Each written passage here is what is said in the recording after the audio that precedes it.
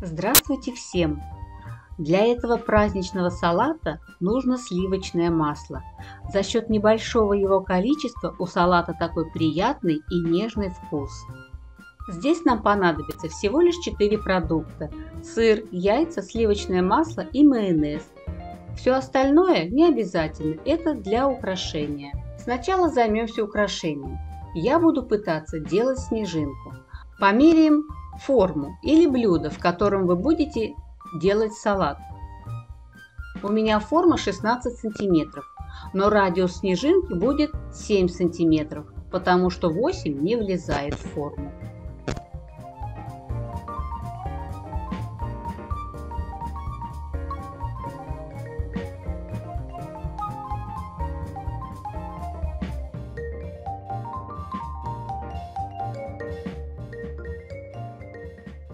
Снежинку я поглажу, чтобы она ровно лежала на салате.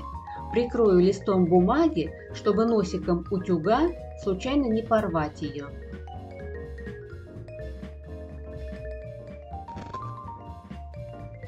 На бумаге красиво. Будем ваять дальше. Сыр и яйца натрем на крупной терке.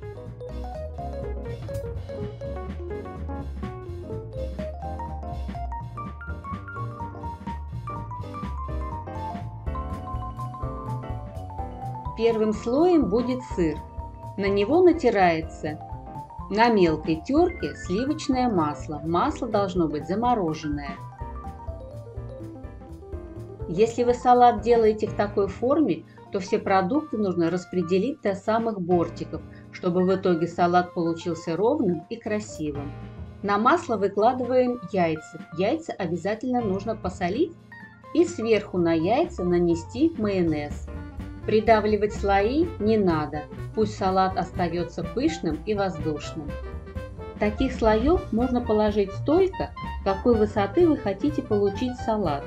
Я сделаю два таких комплекта и разделю их маслинами, но в первоначальном рецепте этого нет.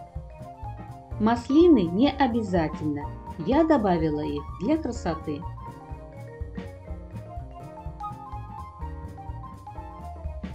Салат за столом ведет себя хорошо, не тает, не расползается, остается таким же воздушным.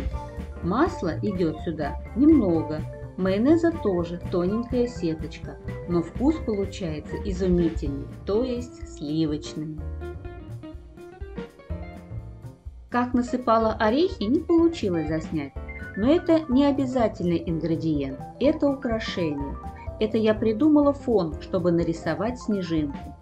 Но орешки были слегка обжаренные, и поэтому вкус салата только выиграл.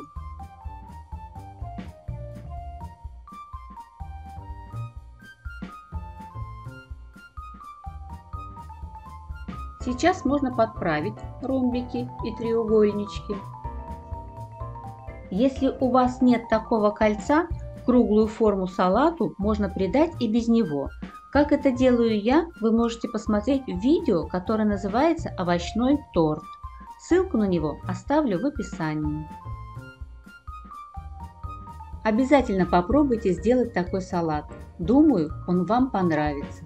Всем приятного аппетита!